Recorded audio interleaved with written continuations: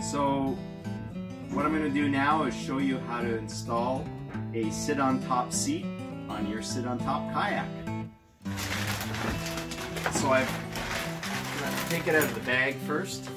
You're going to see you've got the the seat back and the base and on the back side you've got all these straps. One, two, there's actually six clips. So it looks a little bit crazy, where do all these go?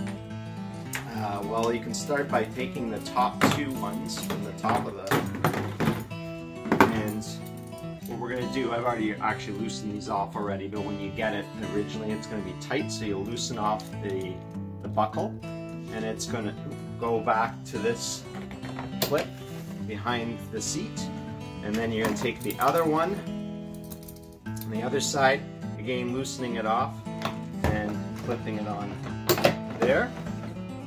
Then on the base of the seat, you can see this, there are two other buckles. You'll want to loosen them off and extend them back as well.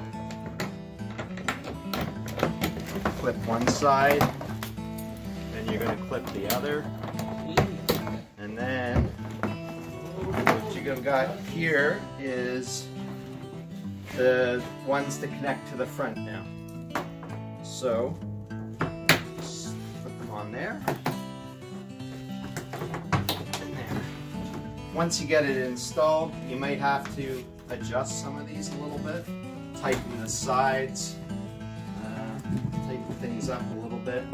Makes things nice and snug and secure. You may even have to loosen, loosen things a little bit. But uh, there you go. You can even test it out. Comfortable.